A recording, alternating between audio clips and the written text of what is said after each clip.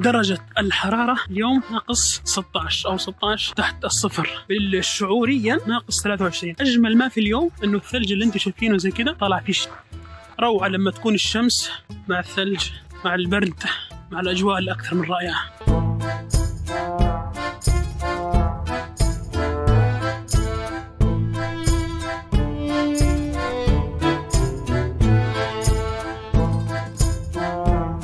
أيام ما كانت تمطر عندنا أمطار وثلوج واعاصير وأي شيء حتى لو مطر خفيف جدا كانت المدارس تعطل الجامعات تعطل الطرق تغلق. أنت لما تشوف هاي الأجواء تقول أكيد في بيلاروسيا النظام نفس الشيء. لا من الصبح من الساعة 5 الصبح تلقى السيارات بنظف الطرق السيارات الخاصة بتنظيف الطرق. تلقى الناس طالعين على الدوام اللي طالع على الدوام طالع على الدوام اللي طالع على المدرسة طالع على المدرسة واللي على الروضة على الحضانة طالعين على الحضانة ولا بتغيروا أي شيء. هذا نظام حياة طبيعي جدا عندهم. فممكن هذا الثلج اللي أنتم شايفينه هذا ممكن يقعد شهر شهرين ثلاثة أربعة خمسة. قديما لسه كان أكثر. درجات الحرارة مثل اليوم. اللحظة هذه اللي أنا بصور لكم منها.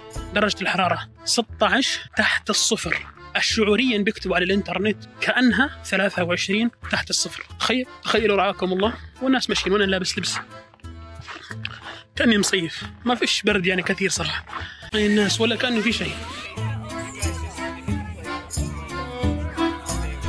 وأيام الثلج شو اللي بيصير بالنهار المفروض يتجمد صح بس النهر عندنا هذه المرة مش متجمد مع إنه درجة الحرارة ناقص 20 لأنه صار له أربع أيام خمس أيام شوفوا كيف النهر بس المشكلة في البرد هذا شو هو؟ تكون درجة الحرارة ناقص كذا، تيجي بتوقف السيارة هيك شي ساعة ساعتين مع نزول الثلج، ترجع عليها هكذا تجدها، فبدها شو؟ تنظيف.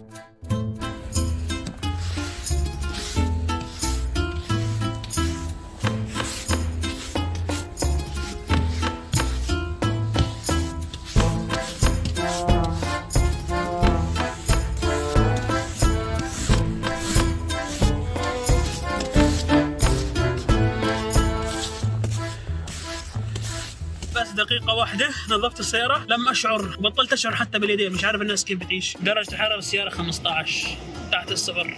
هذه الأجواء الحالية في جمهورية بيلاروسيا روسيا البيضاء من أبرد الأيام هذه الأيام. بس أحسن شيء وأفضل شيء إنه ما فيش فيها اللي هو الهواء أو الريح أو الرياح. طبعا من سيئات البرد وخاصة للناس اللي بدهم تيجوا على بيلاروسيا ويعيشوا في بيلاروسيا ويقيموا في بيلاروسيا إنه ضروري يعرفوا إنه لازم الإطارات تتغير قبل نزول الثلج. لأنه الإطارات العادية أو العجلان أو الدواليب العادية بتصير السيارة تزحلق فيهم لأنه الأرض بتكون مثل ما أنتم شايفين قدامنا. الأرض بتكون سيئة جدا جدا للسواقة مثل ما أنتم يعني توقف السيارة مرة واحدة بتوقفش يعني. فممكن تزحلق معك. فلازم تكون الإطارات مجهزة جدا لهذا الموضوع. طبعا الدولة هنا إذا ما بتعمل هاي الأشياء ممكن يخلفوك. فهي نقطة. النقطة الثانية إنك صعب جدا تتحكم بالسيارة. فالسرعة عندك لازم تكون في المدن. يعني ما تزيد عن 40 كيلو متر في الساعة لأنه لا سمح الله وقف حدا قدامك. ما راح تقدر توقف يمكن تظلك تسحل تسحل لما تضرب فيها مع إنه السيارات هنا والعمال هنا بنظفوا أول بأول وبشكل سريع ولكن مش ملاحقين. في هنا سيارات كثيرة جدا دائما بيطلعوا بنظفوا هاي الثلوج. اللي أنتم شايفينه على الأرض هذا مش وسخ أو مش باقي ثلج هذا رمل. حتى الأرض ما تزحلق. هذا بحطوا هم عندنا رمل. فهم كل يوم بيجوا بنظفوا من الصبح بحطوا رمل حتى تثبت الأرض. الشارع ما يكون هيك ماسك وما قدرش الواحد أو الواحد ما يزحلق.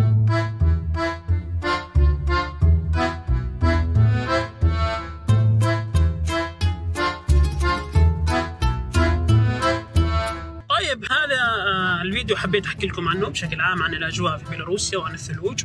اللي عنده أي سؤال أو أي استفسار ممكن يتركوا لهم يتركوا لنا إياهم بالتعليقات أو التواصل معي على رقم الواتساب حول بيلاروسيا. ولا تنسوا الاشتراك بالقناة. والسلام عليكم ورحمة الله وبركاته.